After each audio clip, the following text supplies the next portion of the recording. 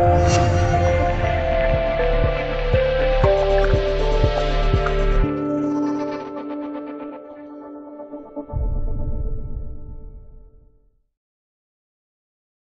零一八年截至目前，谁是世界足坛制造进球数最多的球员呢？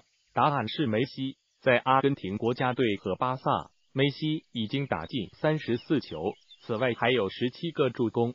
C 罗也打进三十四球，但只有七个助攻。如今梅西状态神勇，他有望连续五年总进球数字突破五十大关。仅从个人表现来看，梅西不逊于 C 罗。梅西是上赛季西甲金靴，新赛季表现也一如既往的出色。而 C 罗在尤文图斯陷入进球荒，两人都是进球机器，但是 C 罗的助攻数比梅西少了十次。不过 C 罗有欧冠冠军，而梅西只有西甲、国王杯、西班牙超级杯三个冠军。从分量来看，梅西的三个冠军还是比不上 C 罗的欧冠冠军。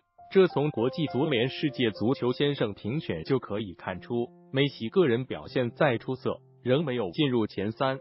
前三属于 C 罗、莫德里奇和萨拉赫。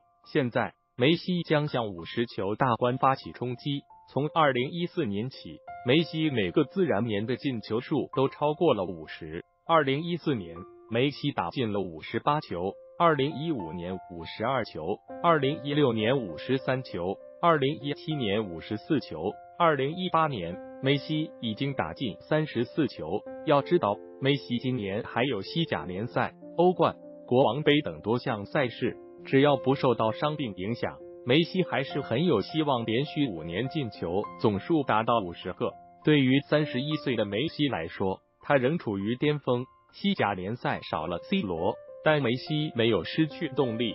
本赛季西甲，梅西是射手榜和助攻榜的双料领跑者，状态大勇。